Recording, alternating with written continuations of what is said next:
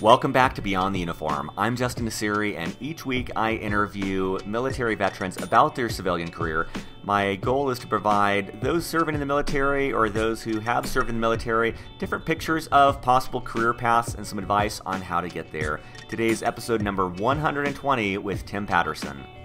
You know, I thought I was a big shot traveler until I met these people. And I realized I was nothing, and they were incredible. I've read books and seen movies and TV shows where people take their motorcycles around the world, and it's very easy to watch that and say, well, that guy's crazy, or that guy's got a fortune, or that guy's got some unbelievable circumstance that, that makes that possible.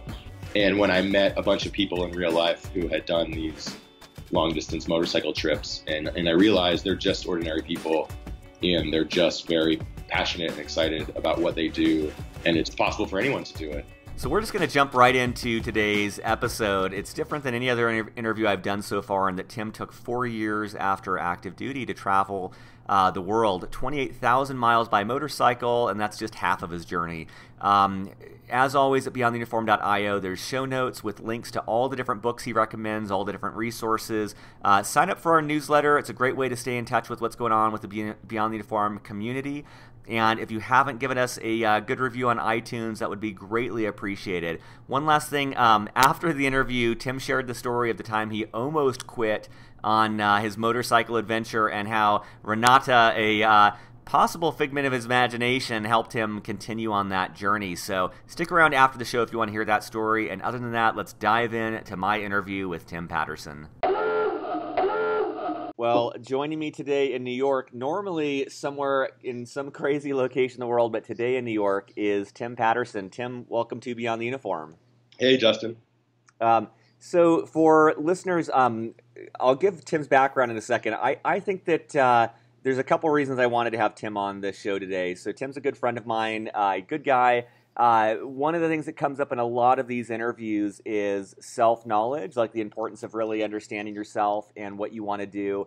And a lot of vets have just talked about um, that they rushed that transition from the military into whatever they do for a living, and they wish they had had more time. And as you'll find out, Tim has taken a lot of time to, to travel and do things that I've, I've never really had anyone on the show talk about before. So excited for you to hear his story. So here's Tim's background. Um, he started out at the Naval Academy as part of the mighty class of 2002. We were both actually uh, electrical engineering majors together. Yeah. he served as an officer on board nuclear submarines for eight years. And once he made the transition from the Navy, he spent over four years traveling the world. Um, two of those four years were done by BMW Motorcycle, where he rode over 28,000 miles along the Pan American Highway from Prudhoe Bay, Alaska, to Ushuaia, Argentina. I'm probably mispronouncing both of those. Uh. He, st- he studied Spanish in Guatemala, served, uh, survived Arctic weather, flat tires, and Colombian soldiers. And I'll just add that, uh, you know, when we were both in the Navy, Tim and I would always be traveling and trading stories. We went to uh, Kilimanjaro, climbed Kilimanjaro together, and Zanzibar together. But Tim definitely took things 10 steps further than I did. So, Tim, excited to have you with me today. Well, thanks. Um, that's a very, uh, very positive description uh, you gave. um, so I'm, I was trying to think back, and maybe as a starting point, I was trying to think back. And um, when you were on active duty, you know, what what were you doing that made this journey possible? Um, well, it it really began when the thinking the thinking process for the traveling really began when we were at the Naval Academy, and I think it was one summer.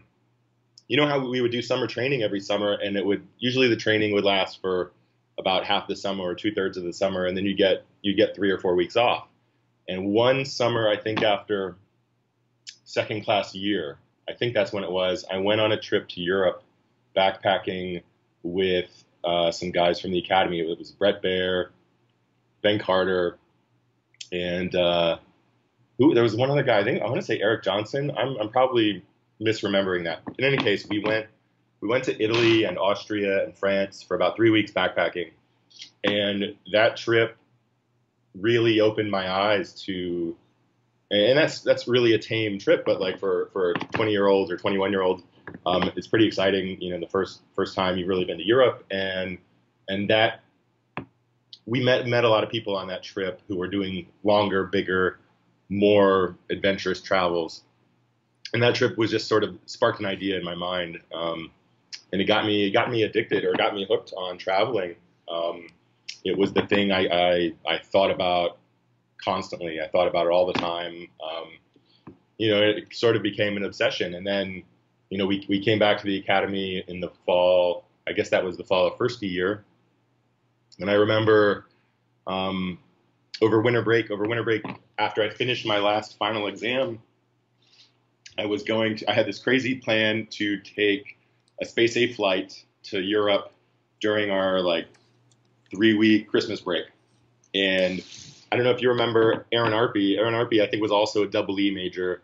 And I, I, had been chatting with him about my, my schemes. And Aaron said, Hey, well, let's go on a trip to Europe together. And this was like my second big trip to Europe. So Aaron finished his exams a couple days ahead of me. He'd bought a commercial ticket and he flew to Germany.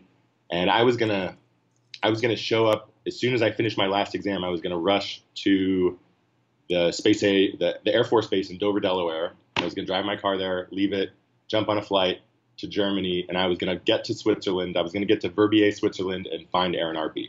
And that was literally like the entire extent of our plan was go to Verbier and find Aaron Arpey. And I'm and thinking too. I'm thinking too. This is uh, you know this is before probably I mean, you, you didn't have a phone with you, right? This was before you had like a yeah. phone that you could travel with internationally. So no this phones. was like probably going to like an internet cafe if you weren't able to meet up, right? Totally, yeah. totally. So what what we did is I I finished my last final exam at the academy, went back to my room and I emailed Aaron and I said, Aaron, I think I, I had a message from him uh, waiting for me, and he said, Hey, I'm in Verbier, Switzerland. You know, I'm skiing. Uh, when are you going to show up?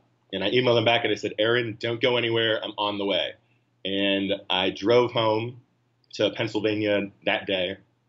I think the very next like morning or the next evening, I left. You know, I, I packed up a bunch of stuff, um, drove to Dover, Delaware, uh, got on the next flight, uh, landed in Ramstein, Germany, got a taxi to a train. You know, took a couple trains, I slept either on a train or in a train station.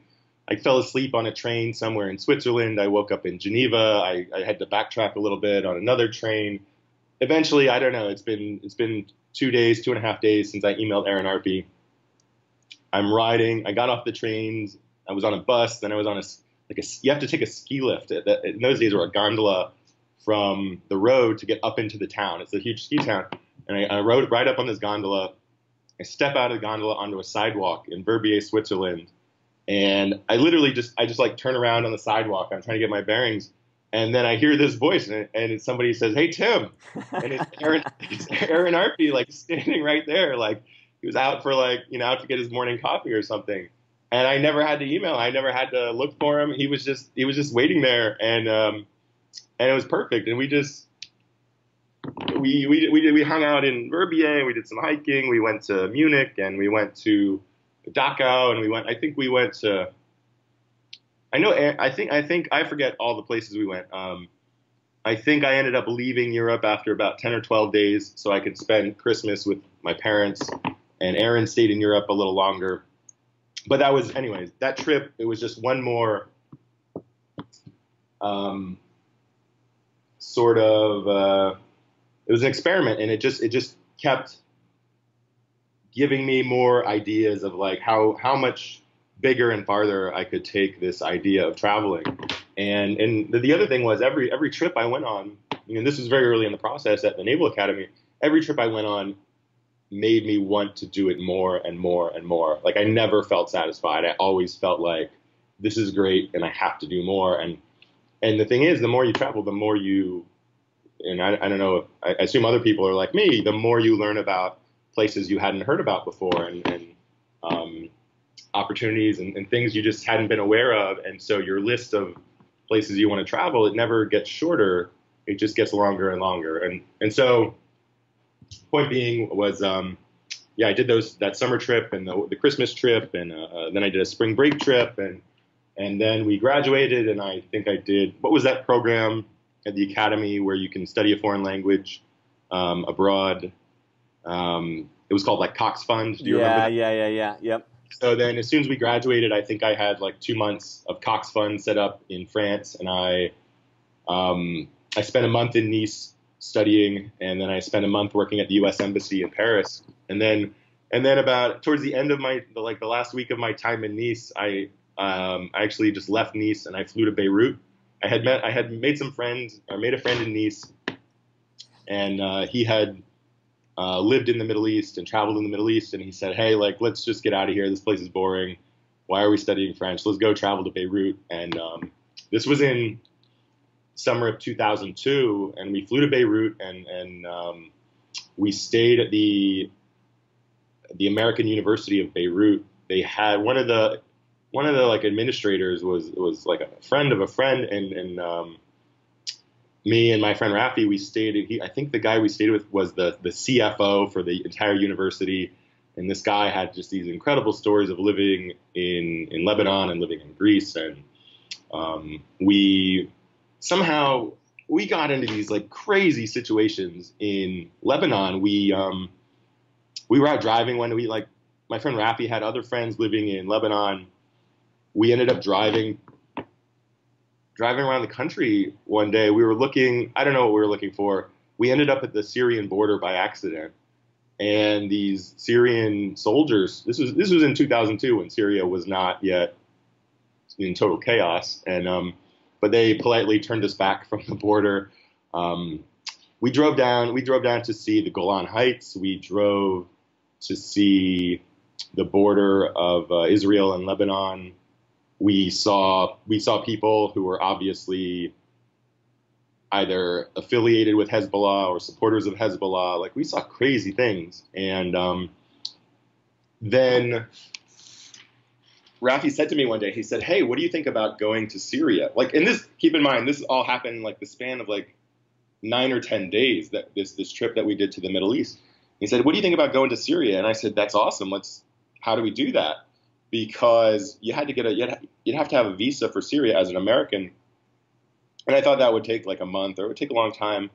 And Rafi called up his dad in the U.S. He's a he's a professor at Harvard, and his dad, I guess, was friends with a, a Lebanese government minister, mm. and, and they made so they made some phone calls, and this we met with the the next morning. We had a meeting with the Lebanese minister of culture, and he brings us into his office. He serves us coffee. He says, "I hear you want to go to Syria." We said, "Yeah." And he said, okay, um, I'll make some calls.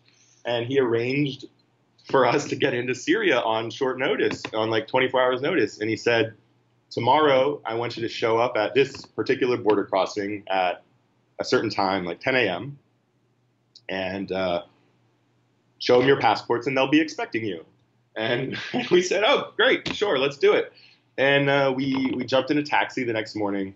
Um, for the the drive. I think it was about a five hour drive between Beirut and and Damascus, and there were lots of taxis on that road. And we got we got to the border.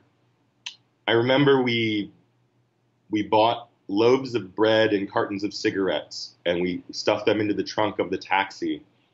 Um, and uh, the reason was that we knew we knew at the border that the, the Syrian border guards would inspect the car, and it was just sort of um, we by word of mouth we knew that if we put some nice things in the trunk of the car, they could, you know, casually pull them out while we were looking the other way, and uh, they would just politely let us through the the border. And this is like the, the subtle bribe. Yeah, yeah, and and what do we care? Like loaves of bread and cigarettes, like that doesn't seem um, like anything bad to me. So sure, why not? And and um, you know, if you look back to 2002, I think Syria was just Syria like it was just this very isolated, um, you know, very uncommon destination that was ruled by a dictator and just had this, this bizarre reputation, and it was in the middle of the desert, and and but it wasn't it wasn't in a civil war. There wasn't um, you know ISIS. There weren't there weren't all of these the, the, current problems to worry about, it was still possible to visit there and and be fairly confident about your safety. I thought, and and we were right. It was it was fine. Um, and uh, anyways, we we ended up we got into we got into Damascus, spent a day or two there. Um, I think they were. I think the the hotel where we stayed was bugged. Um, but that's a. I wasn't. I don't want to go deep into that story, but well, well, we'll get into other other crazy travel stories. But I'm, I'm uh, wondering. Let's say someone's on active duty and they're listening, and, and yeah. they feel the same way you do. They want to take time to travel. How much yeah. money do they need to save up? Like, I'm wondering. Like, you had this dream what was your goal for savings to be able to have enough money to be able to travel? Um, okay, this this question like it everything depends on like what length of time you're talking about. If you're if you're on active duty right now, like I, I don't know what other people's situations are, but on the submarine, like or, or even on my short tour, like the most I would ever real most time off I would ever realistically get might be like two weeks you know, that they would let me take at one time. Um, it didn't matter if I had 60 days of leave stored up. Two weeks was usually maybe maybe three in you know an unusual circumstance. But but you're looking at if you're on active duty, everything you do is going to be a short trip. I you know any I, I, say anything under a month is is a short trip. Um, and and the other thing is if you're on active duty and you're in the United States, you're based in the United States, like a lot of destinations you're going to have long flights and expensive flights. So so the price of traveling while you're you know when it's a short trip and if you're leaving from the U.S. it's going to be higher than than in other situations. Um, but you know what? So while I was in the Navy at very at various points, I was based in Japan, in Bahrain, um, and I did trips from there. When I did when I did an IA to Afghanistan in 2009 this was like this is something they don't tell you, or I, I had no idea about. When you're on an IA tour, you know, you get something like 15 days of leave in the middle of your your deployment, and the government will buy you a round trip flight to basically anywhere in the world during your leave. And most people, I would say 90% of people, just get on the flight back to the U.S. to see their family for two weeks. And I said, I don't want to do that. I want to go somewhere crazy or you know, not crazy, but somewhere exciting. And so I flew to South Africa. I flew to Cape Town, South Africa, um, during my my break from Afghanistan, and I I spent those two weeks in like Cape Town, and I went to Namibia, and I was like I rented a pickup truck and was like driving through sand dunes in Namibia or something. But um, you asked about money. Um, so well, let me say first. So if you're thinking about traveling and you're still on active duty, it's super hard because of the time constraints. It's always super hard, and the flights are always going to be more expensive, and that's it's difficult. Um, when you get out of the Navy or you get out of the military, um, if you're not yet committed to a new job or committed to going back to school, like if you have a flexible schedule, you can travel for an extended period of time, and you can do it for way more, far more cheaply than you imagine. Like the average price per day comes way down when you travel longer. Um, what was it and, for you for a year? Like, let's say for a, a typical year when you were traveling. Like, like, if you want like a precise dollar amount, like I, I honestly I don't know. I don't okay. know. I would say, like when I was okay when I was in the Navy, I started saving. I think while I was still a midshipman, um, I had I started investing in mutual funds when I was either a senior in high school or plebe year. I, I opened up a, a mutual fund account. I started doing that and I would occasionally, not often, but just put money into it, and never I would never take money out. And once we became ensigns or Lieutenant JG, um, I was putting in money. I, I set it up so that you know automatically every month I would invest money, and I just kept over time as we got to be you know lieutenants and whatever. I just kept increasing the amount of money I would put into my mutual funds every month I, I, looked a little, I looked a little bit at other things like um, stock trading or ETFs or you know other things, but but honestly, like the 99% of what I did was just putting money into mutual funds. And, and you um, you essentially though you traveled for basically four years without four, ever years. ever ever being employed, right? I mean, like you managed to to to put away enough money and live frugally enough to to really stretch this out. Okay, well, so if you think about your biggest expense when you're living somewhere like if you're living here in New York City where I am or or wherever you happen to be stationed, like your biggest expense is going to be your rent or your mortgage generally. Um, and then your second biggest expense would probably be your car if you're if you're paying off your car, and then you've got you know insurance and and then you've got your you know your food and your whatever else, gas and all the other expenses in your life. What I planned to do when I got out of the Navy was not have an apartment, not have a place to live, like not be paying rent. Instead, I would be, and I didn't own a. Well, I, I ended up buying a car, a used car, shortly after I got out of the Navy, but that's whatever, not important right now. But the point is, I tried to minimize all of my expenses in the United States. Like any, like anything I didn't need to have or spend money on, I just cut that out. Um, I didn't have an apartment or a home.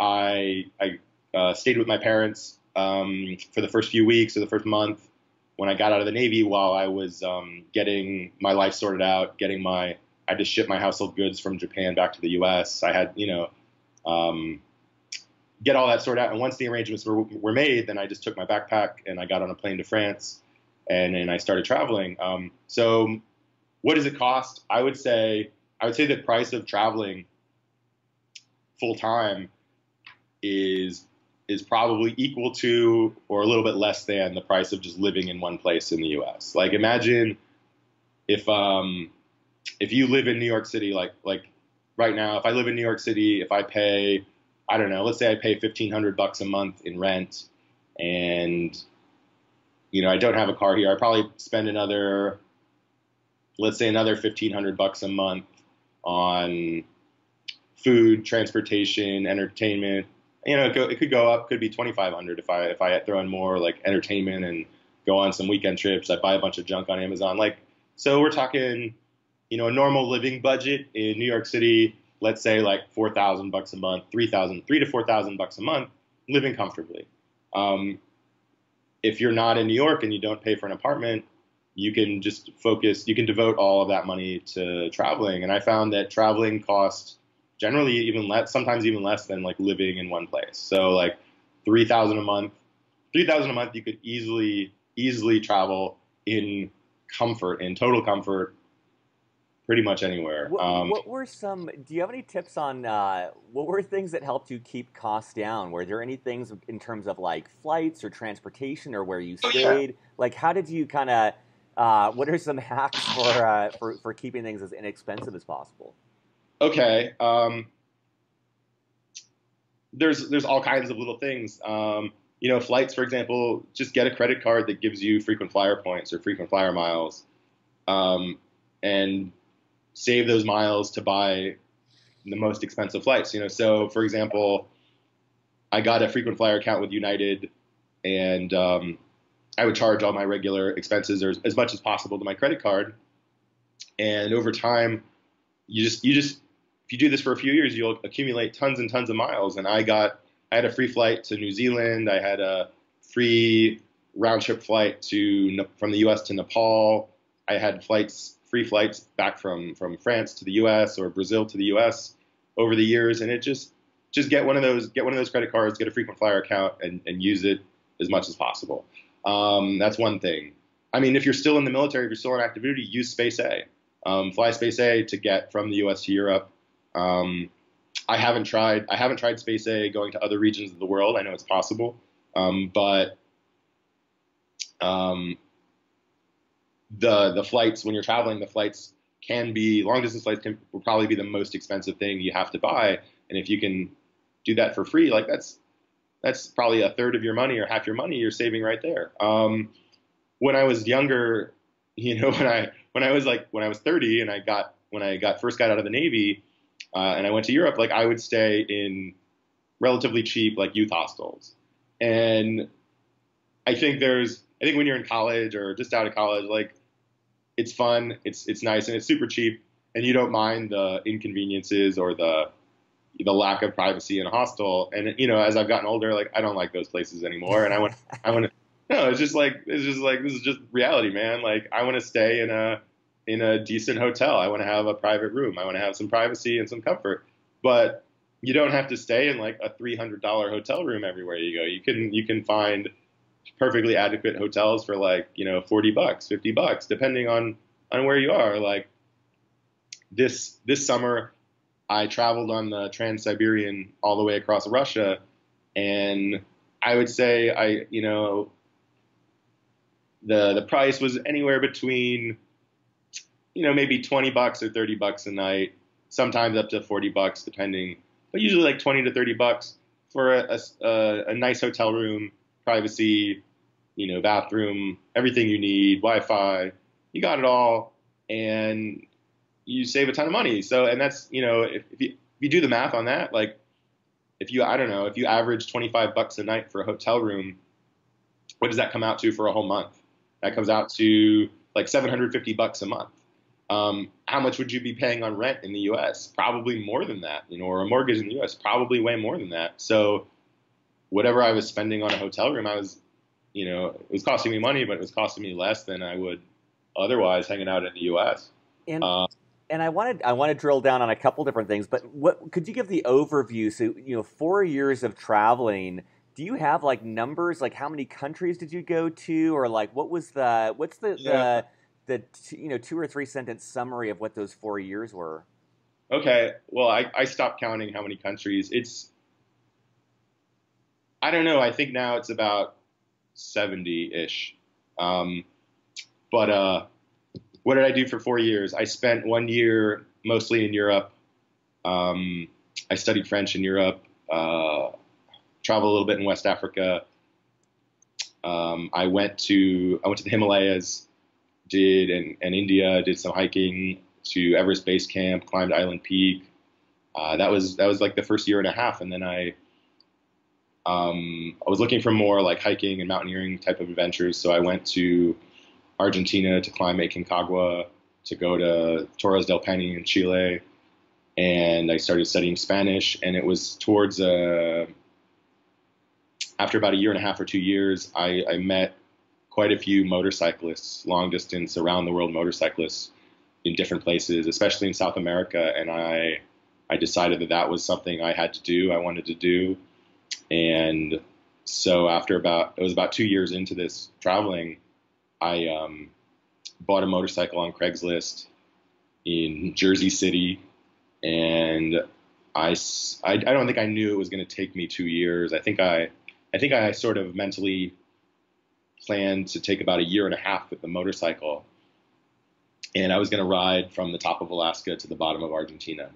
and um, you know, there's a lot of reasons. I read, you know, the big thing the big thing was um, this motorcycle rally I went to one weekend um, where I, I, met quite a few long distance riders who were they would talk about their adventures and show pictures of their trips to places like Mongolia or um, you know East Africa or or wherever they went and you know I was totally awed and inspired and um, you know I thought I was a big shot traveler until I met these people. and I realized I was nothing, and they were incredible. And and I knew uh, it was it was just one of those um, chance encounters that like it was life changing. I knew immediately that you know my eyes had been opened to some to this this concept that I never thought was possible doing a, a like an around the world or a halfway around the world motorcycle trip and um, it's very it's you know, I've I've read books and seen movies and TV shows where people take their motorcycles around the world, and it's very easy to watch that and say, well, you know, that guy's crazy, or that guy's got a fortune, or that guy's got some unbelievable, I don't know, circumstance that, that makes that possible. Um, and when I met a bunch of people in real life who had done these long distance motorcycle trips, and, and I realized they're just ordinary people and they're just very passionate and excited about what they do, um, and it's possible for anyone. Like it's possible for anyone to do it. Um, I, I and, just think it's crazy that you'd you know for after two years of traveling, which is you know honestly that's that's um, a longer amount of time than I think anyone else I know has traveled, and yep. then then meeting people and realizing you were just at the, the tip of the iceberg, and that's crazy. And and I, I also think it's just kind of a cool message that it's it's not retired millionaires that can do this. It's you know, it's it's living frugally. It's like storing away some money, but it's it's possible for more people than would imagine to be able to take this sort of adventure. Yeah, um, you're totally right. It is possible. And and the other thing I learned, like most of the riders that I met were, I would say they were mostly middle aged, like in their 40s, uh, maybe you know 30s to 50s was the the prime age group because they had worked a little bit and saved a little money and they had some experience riding motorcycles and um, you know they just got to a point where they wanted to try this big adventure. And a lot of them a lot of them had um, major concerns about money because you know they had mortgages or they had a home or they had a family they had things they couldn't just turn their back on life and and not have any expenses and just ride a motorcycle. Like they they were real people, and I learned a lot from them about you know these people would very often they were experts in camping. They would they would camp all over the place on their motorcycle trips to save money. They would do a lot of their own cooking. They would do a lot of their own repairs or their you know they were very frugal at the same time that they were traveling around the world and having these incredible you know, they were having the time of their lives, but not spending too much money. They would, you know, and they would tell stories. The thing is, once you hear enough of these stories, they just make you believe more and more that that your the motorcycle trip you were dreaming of is totally possible. You know, there was a there was an Irish guy I listened to. He talked about pitching his tent in some old lady's garden in Brazil, and and he he, he said there were so many times when he would he would camp out in somebody's yard or near somebody's house, and they would they would give him permission, and then they they would get to know him. They would talk to him, and they'd say, "Hey, let me let me call my buddy, you know, 100 miles down the road or 200 miles down the road, and he'll let you stay at his house when you get to that town, you know." Or there, it's it, there were so many situations on my own trip where I met people along the way who were incredibly generous and open. I can't I can't tell you throughout Central America and South America how kind people were to me. Um, letting me, um, you know, just like like there were people who cooked food for me. There were people who helped me fix my motorcycle when it broke down. There were people, you know, when I dropped the bike on the when I, fell over on the side of the road and I had this like 500 pound motorcycle to pick up. Literally, okay, let me like in Argentina. In Argentina, one day I was I dropped my bike in this dirt, kind of off, off the side of the road, and I was just staring at it, dreading like picking this thing up because it's so heavy. And um, this car came barreling down a dirt road in Argentina, slams on the brakes when they see they, when they saw me. This this guy, I don't know, looked like like a kid in his twenties, leaps out of the car, runs toward me, grabs my bike, lifts it up, and he kind of hands it to me, and he just nods at me, and he runs back to his car, dives in, and drives away. Like you barely said hello and it's like this type of thing would happen everywhere. Like when I when I had a I had a dead battery one day in Peru, and I was so I, I had taken the my bike was parked on the side of a, a busy like downtown street, and I had the the bike opened up and the battery out, and I was I had like a wrench and a screwdriver, and I was trying to reassemble everything at one point, and it was getting later and later at night, and it was it was like 9 p.m. and it was dark out, and there were people. It was quite a busy sidewalk, and and um, three three kids like in their 20s approached me, and they just like one of them like stuck his head inside the motorcycle and was like looking at the the cables and the wiring, and and all of a sudden these guys just like showed up and started working on my motorcycle like for me, and they like they helped me like I, I dropped some screws in the you know in the street and we were we were looking for the pieces together. This australian guy walked up and he was like oh i've got a motorcycle here. Um, he ended up he, he took the battery out of his own motorcycle and he gave it to me. And he said you know hey put this in your bike and drive it back to your your hostel or your hotel where you can lock it up for a while and then just you know walk back here and give me the battery when you're done. Um, you know, basically he saved me from having to like push my motorcycle through the streets for like a mile and a half, and uh, and and my motorcycle was really heavy, and that was it was just an incredibly generous thing. And this guy had no idea if I would ever come back or not with his with his battery. Um, and people did that kind of thing all the time. Um, I love that that sense of like connection and community that comes through this. Like as you describe that, it's like it makes me want to travel so much, and you just realize you're part of this this global community of people. Yeah. I mean, what was your on on the motorcycle portion? Like, what was your day like? Are you driving? Are you riding like eight hours a day? And like, how do you even? Pa- are you just are you like listening to music, or like how do you even pass the time? That's a good question. Um, like here's the thing.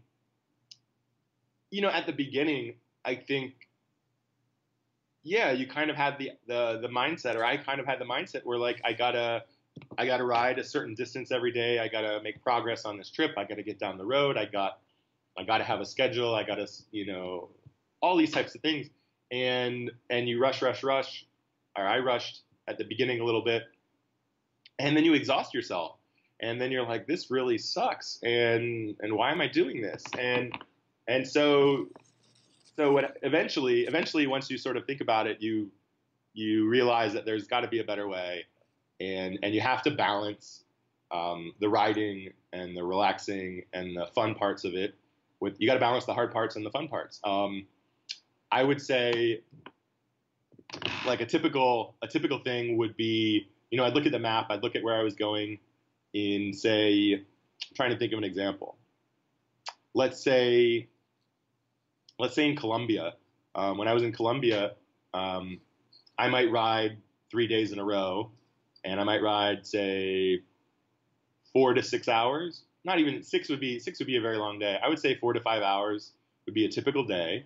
And you know, you take breaks to get lunch, take breaks to get gas, take breaks, you know, to get coffee, whatever you need, because you know, the point isn't to grind yourself down. The point is to enjoy riding your motorcycle and take in the amazing landscapes and meet people and see other riders and, and just talk to the local people. So like on a day on a day when you're riding four to five hours, like that riding might you know, you might not the whole thing might take you seven or eight hours, you know, with stopping and, and talking to people and taking pictures and um, and then you have to have you have to have like days off. You have to have days when you're not riding because it's physically hard. It's physically exhausting. Um, it, it's it makes your your back and your shoulders and your butt like everything gets sore. Everything gets tired. Your muscles get really stiff. You know, if you're in you know, on the bike all the time, you know, sort of in that position of riding.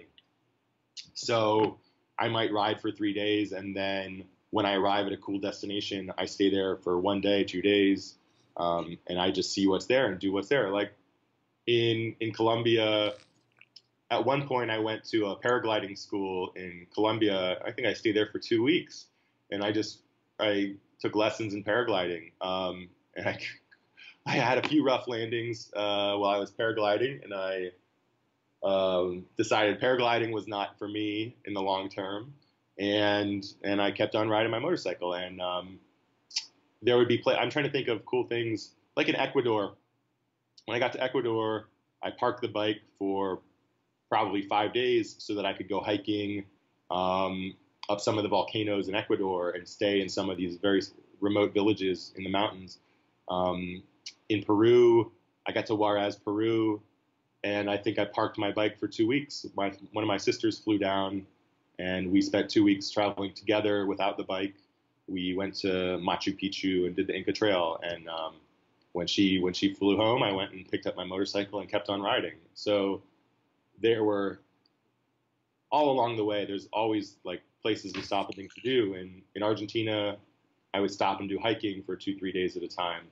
Um, yeah, so it's not it's not all just riding, and it's not eight hours a day.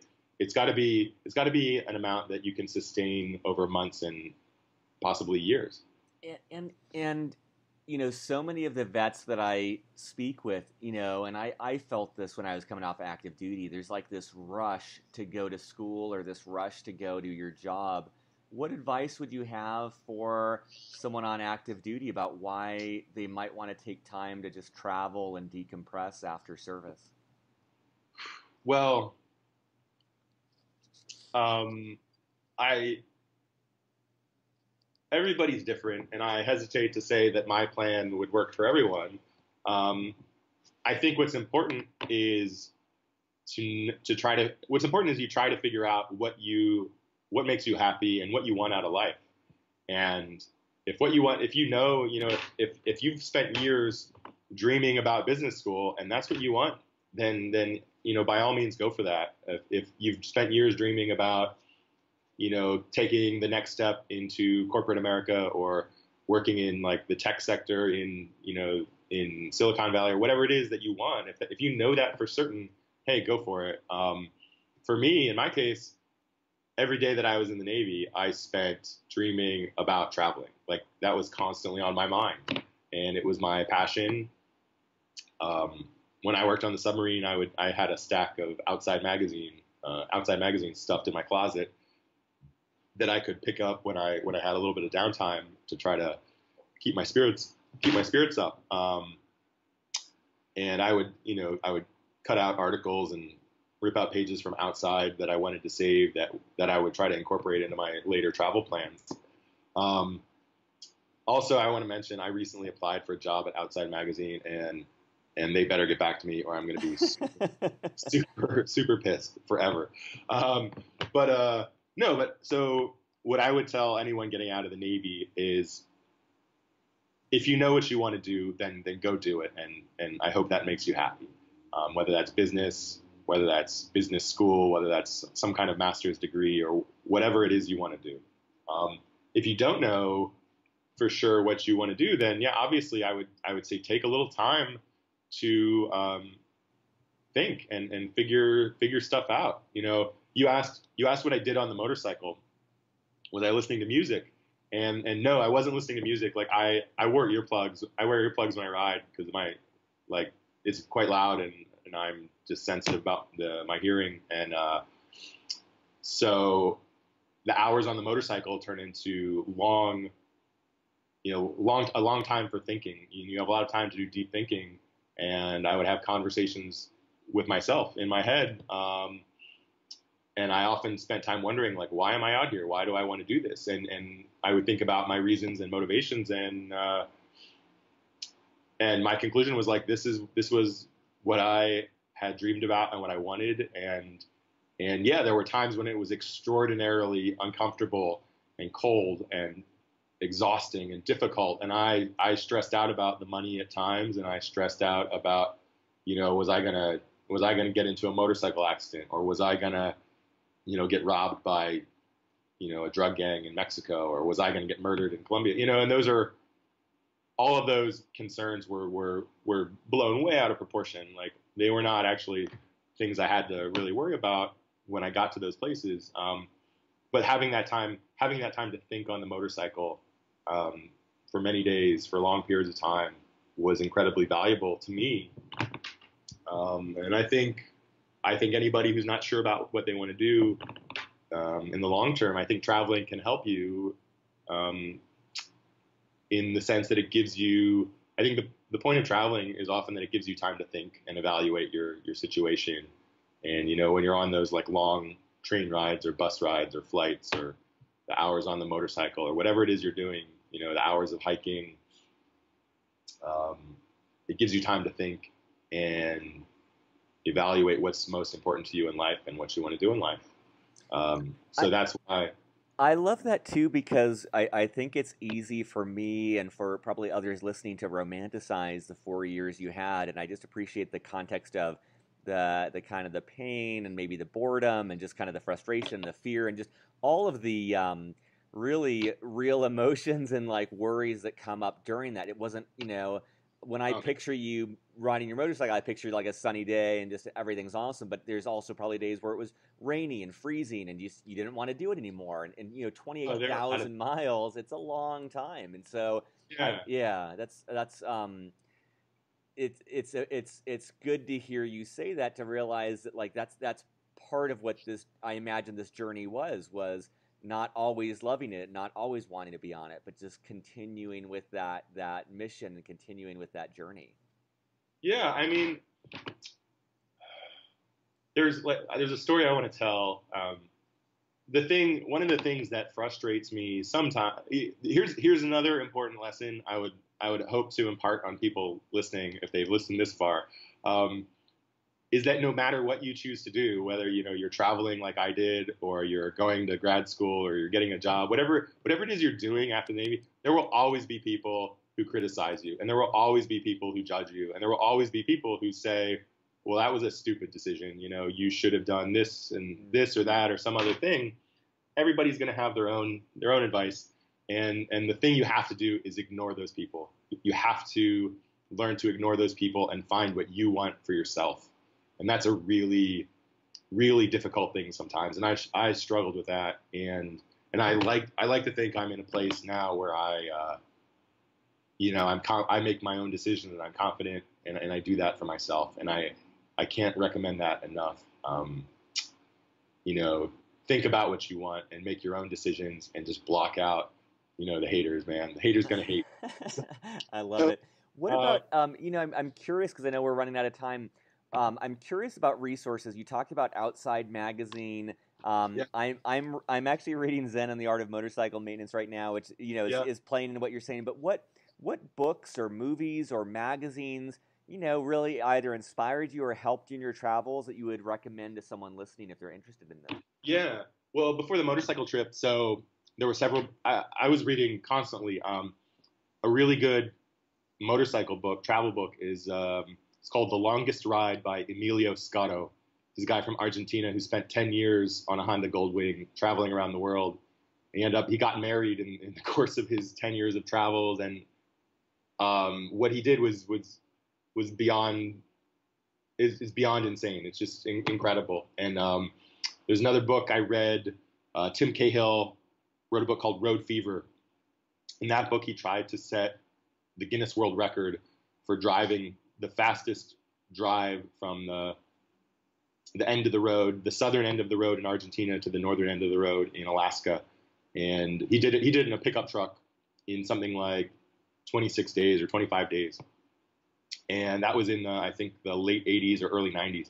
And his book was actually his book gave me the idea or the inspiration for the the the endpoints for my own motorcycle trip for Prudhoe Bay, Alaska, and Ushuaia, Argentina, those points come from his book, and and I did a little bit of research, but but in Alaska, there's only one road that goes to the northern coast of Alaska to the Arctic Ocean, and um, in in Argentina, all the all the roads, um, and more or less in Argentina, in Ushuaia.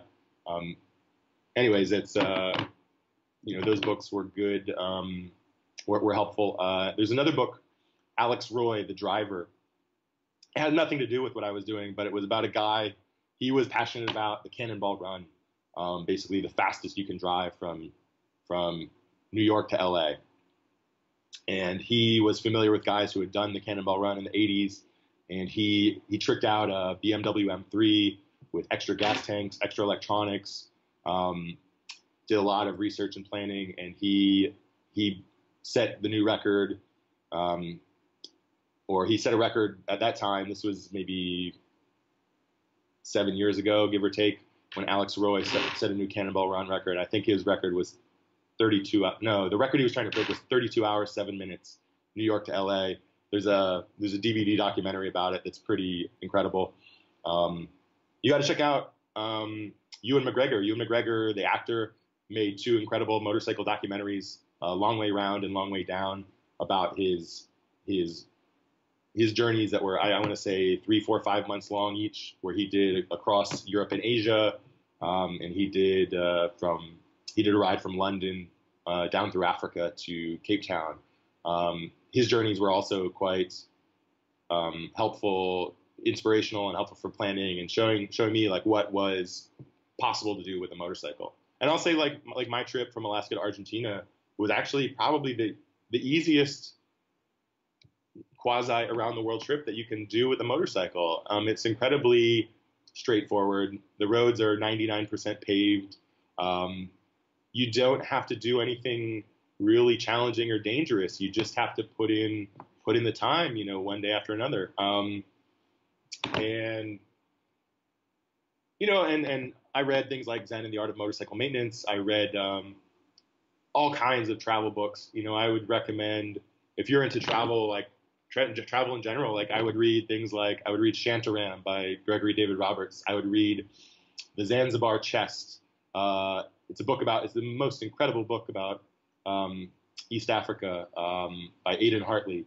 Um, he was a war correspondent who covered a lot of civil wars in East Africa. Um, I would recommend. What else? Oh, I read tons of um, Paul Theroux about, about, his train journeys. The the Great Railway Bazaar, Ghost Train to the Eastern Star, Dark Star Safari, um, The Last Train to Zona Verde. The uh, he did one, The Old Patagonian Express. Like these are all books about traveling by train. Um, can't recommend him enough. Uh, in Japan, Alex Kerr wrote a book called Lost Japan. It's really incredible about traditional Japan.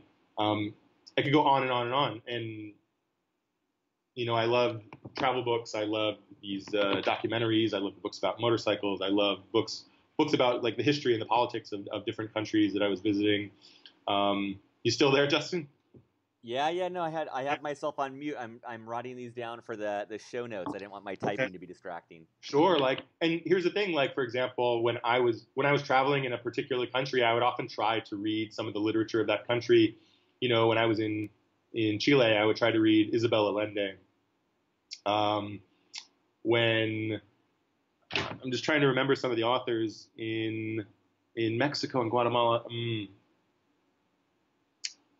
there there are some authors I can't remember them all off the top of my head, but everywhere I went, I would try to read some of the local stuff. Um, in you know, I, I like. Sorry, I'm running out of. I'm, I'm, my failing me right now. In um, no, no worries. Uh, I will for listeners. I'm going to have links to all of these different books and resources in the show notes. I know we're we're out of time. I wish we had more time to go into more of these oh, adventures, man. but oh, I hope man. I hope for listeners this is like inspiration to you know it's not only possible, but it's it's easier to attain than you'd think, and just having that time to to think and and learn more about yourself and just have some time to decompress. I think is really incredible. So Tim, I appreciate your sharing your story today. I think this is really inspiring. Well, thank you, Justin. I hope it's uh, helpful to some of the people out there. Surface, surface, surface. All right, thanks for listening. I'll share that story with you. The Tim's last story about uh, the time he almost gave up on his motorcycle journey couple quick notes. Um, first, if you haven't signed up for our newsletter, go to beyonduniform.io slash newsletter. Sign up there. That's the main reason, uh, main way I stay in touch with uh, listeners. Second, if you haven't had a chance to give us a positive review on iTunes, greatly appreciate that. It helps us get the word out about the show. And third, if uh, you haven't taken advantage of our Audible free trial, go to beyondtheuniform.io slash books.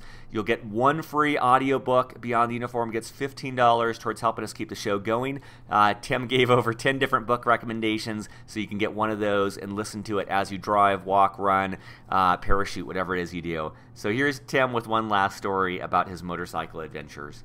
We mentioned, we're, or I was talking about how some days on the motorcycle were really miserable and really not there you, you, know i think i think a lot of people my, my parents have this idea that i've been on vacation for four years. And the truth is that the, the traveling is can be extraordinarily challenging at times. And so i wanted to bring up the story of how of, of the day i decided to quit. When i was on the motorcycle probably about a month month and a half into the journey i was in alaska and i reached i reached fairbanks alaska which is more or less in the center of the state. And then to go north to the coast at Prudhoe Bay. It's about a two day ride. If I remember right, it was about uh, I want to say 300 miles, 300 ish.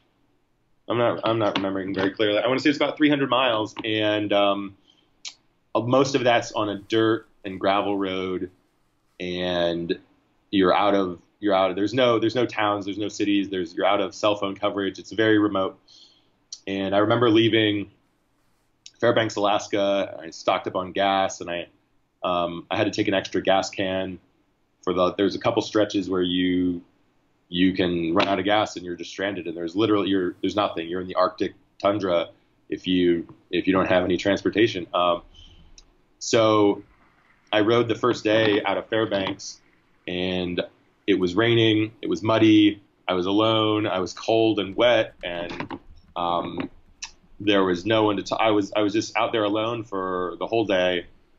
I camped out overnight.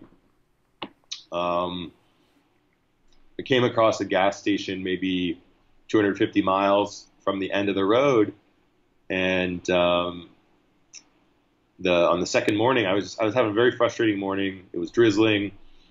I eventually, you know, I was I was having a lot of thoughts about um, turning around and not going to the end of the road at Prudhoe Bay, and this had been getting to Prudhoe Bay had been sort of that that had been the framework for the whole trip. The, that had been sort of the starting point. The plan of the whole trip was to get to Prudhoe Bay and then ride south to Argentina.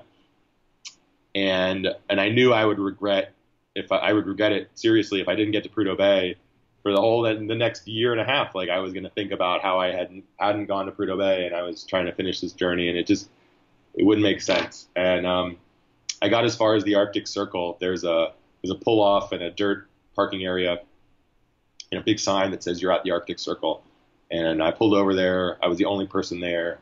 Um, took off my helmet and I, I took some pictures of my bike in front of the Arctic Circle sign. And I was so miserable. I was scared. I was scared of like wiping out in the mud and like falling down and breaking my leg or something, you know, breaking something, and then being stuck out there and injured and not, you know, I, I guess that was one thought, but I was just I was just scared really. Um, being out there, being alone on the motorcycle is is really challenging at times, and um, you know, just the cold and the rain and everything made it miserable, and um, so I decided while I was standing there, I decided to quit. I wasn't going to go to Prudhoe Bay, and I felt I felt so shitty. That, that's the only word. Like I just felt I, I felt embarrassed, ashamed, like sad. Just I was very disappointed in myself that I had given in to this urge to quit, and um, I was going to take a minute and just you know get my gear on and and turn around and ride south and just be miserable for a long time and at that moment, another motorcycle, I heard the sound of another motorcycle and another guy on a BMW 1200 GS. He, he rode up, he pulls up into the, the parking area and he stops right next to me and he turned off the bike and he climbs off his bike. And this guy is enormous. He's like six foot three, easily like 240 pounds. this enormous dude. he takes off his helmet. He's got this really long, like black hair. And he, he just looks at me and he says, I am Renato. I come from Brazil. I ride here in 33 days. he says, he says, I go to Prudhoe Bay. You go to Prudhoe Bay? Okay, we go. We go. And he just looks at me and I and I tried to argue with Renato. I was like, no, no, no, man, man I I'm not going. I've I've had enough. You know, I, I tried to like politely tell him like I, I was quitting. And um, he just he just kept on me and he wouldn't stop. And he he basically said, Get your get your helmet on, we're going and we're going to do this. And he, you know, meanwhile, some guy in a Jeep pulled into the parking area. He got this guy named, I think his name was Matt from Switzerland in a Jeep. And he got this guy to join us. So there were now, there were three of us now. And he said, we're all going to go together and we're going to Prudhoe Bay. And he's, he didn't, he didn't care about anything. Like we were going whether we wanted to or not. And I said, okay, I will, I'll ride with you for an hour or I'll ride with you, you know, till lunchtime.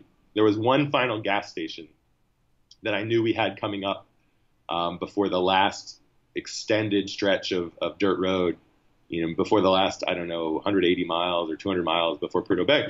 And I said, I'll go to that gas station and, um, and then I'm, I'm done. Like I'm not, I'm not going farther. And, um, so I rode with Renato for a while and he kept pushing me and pushing me. He was like, Hey, let's go another hour, another hour. Like you can't stop now.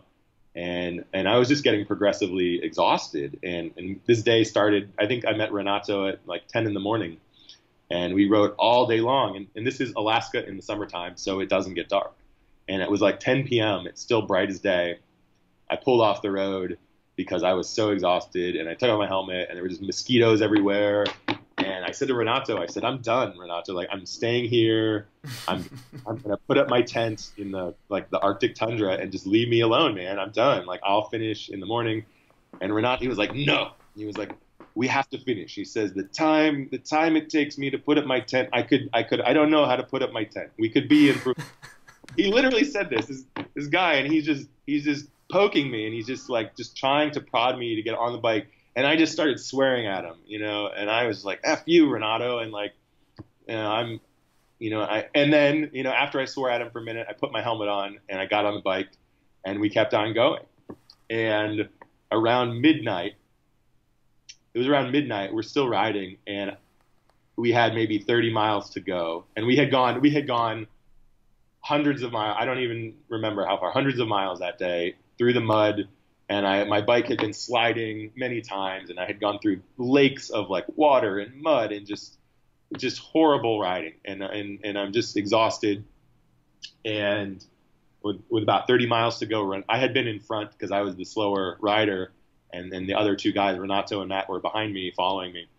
And Renato pulled up right alongside me, and he just kind of nodded his head. He looked at me, and then he just accelerated and he just took off down the road. And I just lo- I lost sight of him over the horizon, and um, and he went on to Prudhoe Bay ahead of me. And uh, but he knew like at that point we all knew like we were going to make it. We were going to make it because we were so close, and we had been going for I don't know 14 hours, you know, riding. It was one of the longest days of probably the longest day I've ever ridden.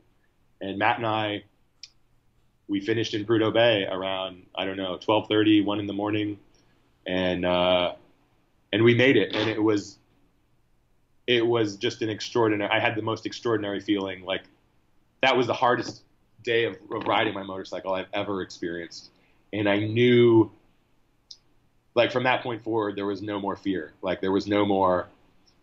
I knew that I could ride in like the most horrendous situations as long as the bike as long as the bike held up, I knew that I could do it, and the bike was, you know, I had no doubt the bike would hold up. It was just it was this incredible um, confidence building experience, and I, I am so fortunate that Renato was there. And uh, when we arrived in Prudhoe Bay, we never found Renato. I, I have no.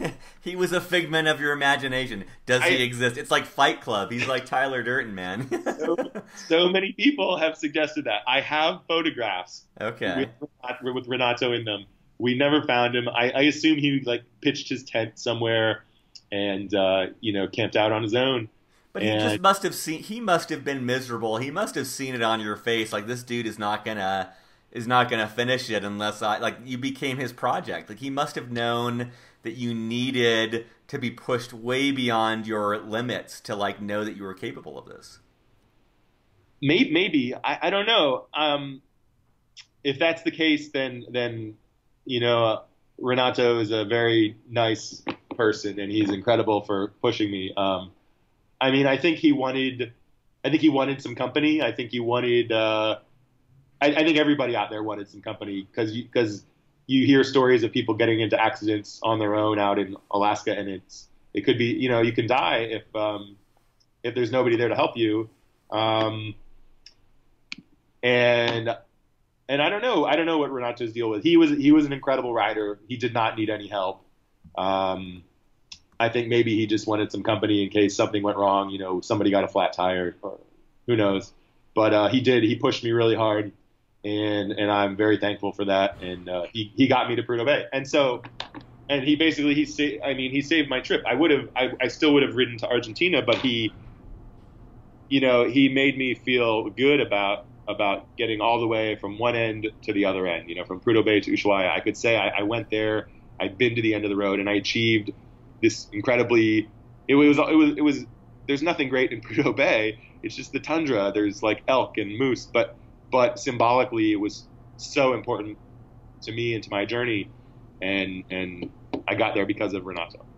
That's amazing, man. Like uh, it's crazy to think had he not been there, you could, you could have thrown in the towel. You wouldn't have had those twenty eight thousand miles under your belt and incredible stories to boot. Yeah, man. Yeah, that's.